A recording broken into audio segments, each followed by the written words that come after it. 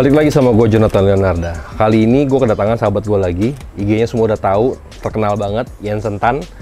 Eh, udah ratusan ribu deh pokoknya followernya. Dan dia fotografi makro yang binatang salah satu idola gue. Dan dia yang ngajarin juga gue eh, sedikit-sedikit untuk belajar fotografi. Cuman guanya yang malas untuk eh, ngulik ya.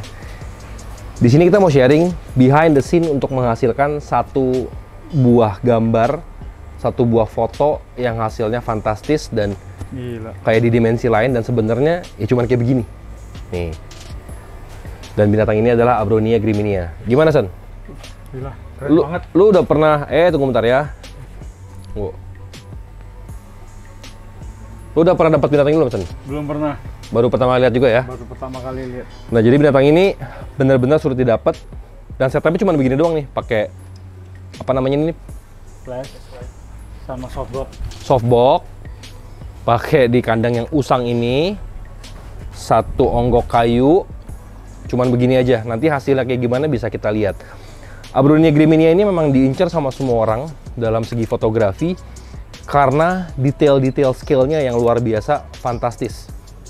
Jadi mereka tuh punya gradasi warna punya detailing scalation yang luar biasa cantiknya. Apalagi kalau lensa dan kameranya mendukung ditambah skillnya yang eh, bagus ya dalam fotografi menghasil menghasilkan sebuah hasil yang luar biasa sekilas waktu kalau kita ngeliat foto wah keren ya tapi dia nggak tahu pengharga apa pengorbanannya it, it, it, it, it, it, it. pengorbanannya sampai pinggang belangsak ya San pinggang sakit punggung sakit kasihan nih manula jadi manula Yansen Semua sakit. Tuh. Karena harus begini nih, bongkok-bongkok, ya kan? Nanti udah habis tuh badan dia sebenarnya berantakan. Kamera yang Yansen pakai Sony juga sama kayak gue, cuma Sony A4 ya? A9. Ah, apa? A9. Oh, canggih dia, A9. Gue yang beda ya sama itu ya? Itu yang paling, paling Itu kecil ya? Ketiga.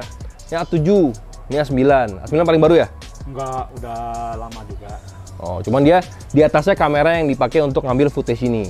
Dan hasilnya ya pasti lebih bagus lah, harga nggak bohong ya, Sen? Iya. Harga nggak bohong. Tuh. Nih kita taruh lagi ya, kita posisiin lagi. Eh, eh, eh, eh. Nih, ini kalau kabur ngenes nih. Kalau dia sampai manjat pohon, selesai sudah hidup gua. Selesai lah udah. Jadi harus penuh kesabaran, penuh pengorbanan untuk mengambilkan untuk menghasilkan menghasilkan satu foto yang sangat bagus. Mau ngadep sini ya? Ya, ya ke depan juga boleh. Ya. Dia ini pinter. Tuh, nggak mau dia. Oke. Jadi kalau udah begitu harus buru-buru difoto. Karena binatang tuh kayak nggak moto kayak objek yang diem ya, kayak buah atau pohon, mobil. Dia lebih dinamis. Dan untuk mendapatkan satu angle yang sempurna, yaitu dari sekian banyak foto yang diambil, mungkin bisa puluhan san ya? Ya, bisa puluhan foto mungkin yang bagus cuma satu kali kadang-kadang. Satu dua. kadang-kadang nggak ada sama sekali. Harus diulang lagi. Jadi di sini kita bisa melihat dan mengapresiasi bagaimana susahnya menjadi seorang fotografer. Susahnya dalam arti kata effortnya usahanya. Tuh pinggang sakit paha kram betis mau pecah ya kan? Pokoknya hancur lah dia ini lensanya masih enteng. Kalau dia ketemu gue liat orang lihat pakai lensa yang gede, itu pasti bakal lebih berat lagi, lebih bobotnya lebih parah lagi. Ngosan. Ngos-ngosan juga ya. Iya. Jadi fotografi sebenarnya masuk ke olahraga juga. Tuh, tunggu. Gue akan membantu Yansen untuk uh, menjaga binatangnya. Udah Udah? cukup. Cukup. Cukup lah. Nah, Segala sekarang sekarang kita minta uh, aduh, aduh, aduh. Sudut pandang, sini San, sudut pandang atau perspektif dari seorang fotografer. Bagaimana menurut lu binatang ini di mata fotografer?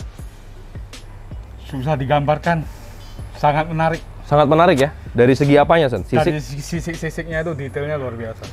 Karena kalau sekilas mata ini kita lihat kayak hijau doang ya. Mm-mm. Tapi nanti hasil di foto Bukan yang hijaunya hijau metalik. dan banyak warna dalam situ kan ada bintik-bintiknya. Coba kita spill sedikit.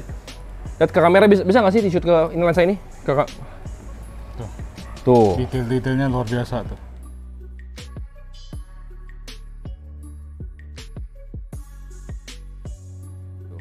Detail-detailnya sih sadis banget. Dan corak-corak bintik-bintik hitamnya. Wah, Tuh. Nah, di bagian-bagian sini, di bagian bawah, ini yang dibilang makanya kenapa alligator. mm, Jadi kayak kayak buaya kan? kayak buaya. Mirip banget sama buaya. Tuh. Dan yang kebetulan yang masuk ini yang warna hijau, San. Ada lagi yang biru. Kalau yang hitam gue rasa kurang menarik karena terlalu polos yang hitam. Warnanya terlalu nggak kontras. Ya, kontrasnya Nggak kurang kurang kurang naik. Nih. Jadi karena ini binatang yang jarang ada, yang sulit kita jumpai, dan di kesempatan ini kita, gue sama Yansan sama-sama mencoba mengabadikan ya, mengabadikan Coba ini. Sekali lagi deh. Sini lagi deh. Kita sekali lagi, mau kepalanya mau ngadep ke mana San? Eh, ke depan. Ngadep ke sini. Ya. Coba. Nih. Ini susahnya, ini bos gue nih. Gue lah, apa namanya, asisten, harus ngatur. Lu nurut sama bos lu. Jadi kita taruh tuh. Nah, lah. harus nunggu dia kalemnya, Harus baru sabar. harus sabar. Yit. Jadi inilah pengorbanan. Jadi ini kalau udah naik pohon gila nih. Oke. Oke, cakep. Inilah pengorbanan kita untuk mendapatkan hasil yang luar biasa cantik. Besok bilang sakit deh. Besok pinggang sakit sana ya? Iya. Aduh. Aduh, aduh. Lu udah aduh, aduh aja. Waduh gila nih. Mantap, San. Aduh, engkelnya bagus banget. Dan kalau kita lihat ya, secara secara global ya, kadang-kadang gue dulu tuh, gue dulu tuh sempat ngebayangin ya, gimana nih Hansen bisa foto dengan hasil kayak begitu. Nggak taunya ya, dengan setup apa adanya kayak begini, kalau komposisinya bener, ya hasil nanti kita lihat sendiri lah bagaimana.